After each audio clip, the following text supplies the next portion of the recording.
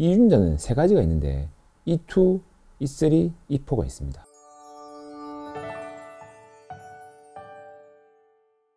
안녕하세요.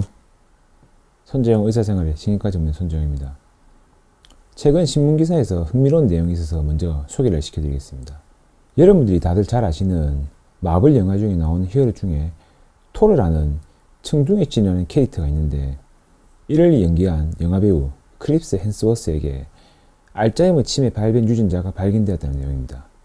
헴스워스는 치매 유전자의 이중 발생으로 인해서 알츠하이머 병이 발생할 위험성이 8배에서 10배 정도 높고 또한 그의 할아버지가 실제로 알츠하이머 병을 앓았다고 합니다. 그리고 마지막으로 이러한 위험성을 미리 알게 되어서 알츠하이머 병의 예방 기회를 가진 것에 대해서 감사하고 이를 잘 관리하겠다는 내용입니다. 치매란 질병은 기억력을 포함한 인지 기능을 저하시키지만 이보다 더 무서운 것은 인간의 조원성 자체를 저하시키기 때문에 어르신들이 더욱 더 두려워하는 질병입니다.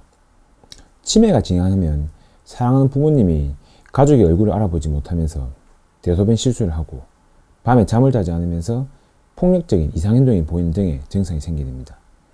이렇게 인간의 조험성 자체를 저하시키는 무서운 병이 바로 치매입니다. 오늘은 앞서 신문기사의 영화배우가 이야기한 것처럼 치매와 유전자에 대해서 한번 알아보겠습니다. 이 그림을 한번 보시죠.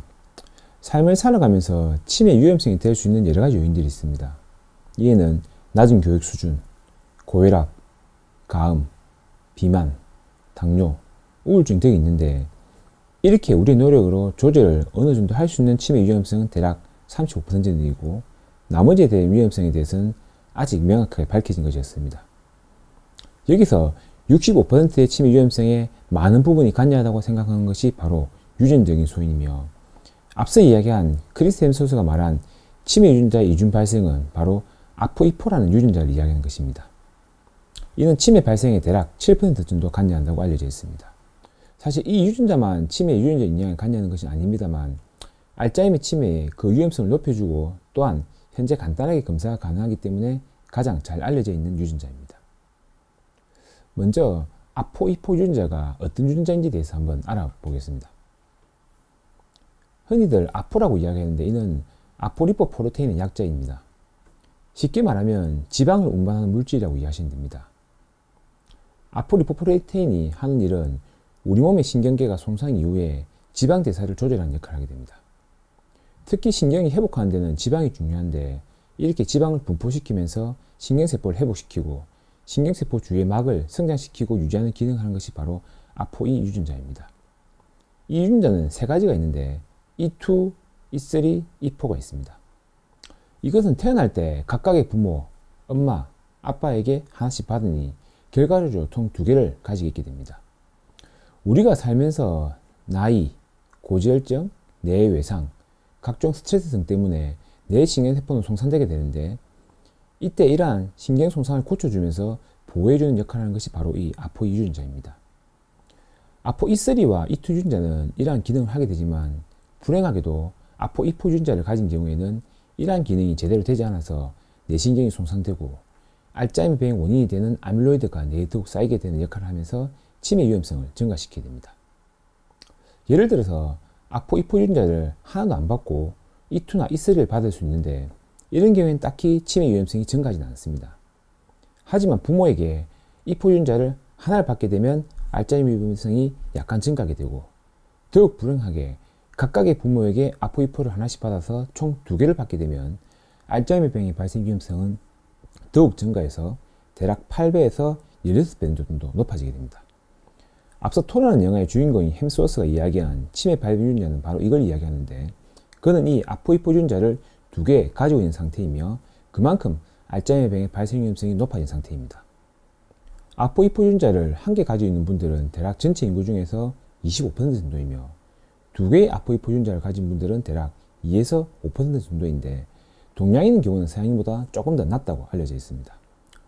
하지만 이러한 유전자를 가지고 있다고 하여 나이가 들면서 무조건 다 알츠하이머 병의 치매로 진행하는 것은 아닙니다. 앞서 보여드린 그림처럼 알츠하이머 병이 생겨서 치매가 되는 경우에 이 유전자가 실제 기여하는 부분 대략 7% 정도입니다.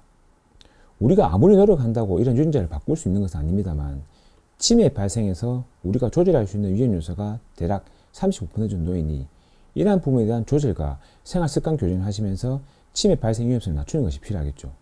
치매에 영향을 미치는 정도를 좀 더 자세히 보면 담배가 5%, 청력 소실이 9%를 차지하는데 이러한 부분만 조금 더 조절하시고 계속적인 공부와 교육을 받으면서 건강 식사를 하신다면 아포 2포가 주는 위험성은 충분히 극복 가능한 것을 보입니다.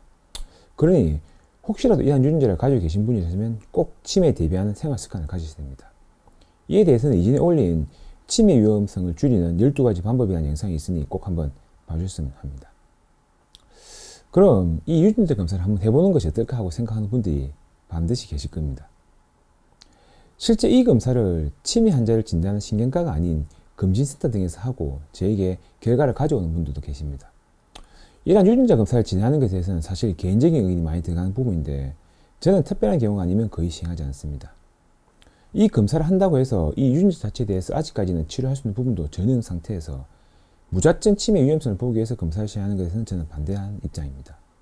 물론 이건 제 의견이고 주위 병원들을 보니 치매 유전자 검사라고 해서 이걸 병원 안에 광고까지 하면서 환자분들께 시행하는 곳도 있긴 합니다.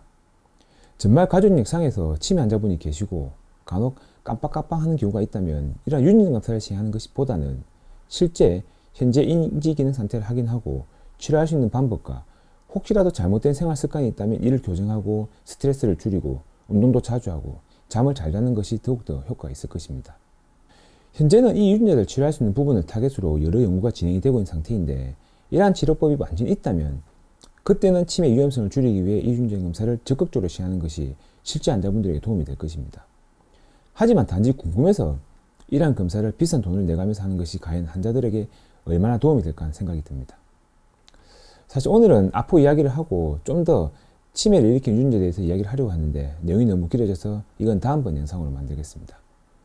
제 영상을 보는 모든 분들께서 꼭 좋은 생활 습관과 규칙적인 운동, 적당한 수면 시간을 가지면서 치매라는 질병 위험성을 낮추어서 내 건강을 지켰으면 합니다. 오늘 내용 도움이 되셨다면 구독, 좋아요와 알림 설정까지 부탁드립니다. 감사합니다.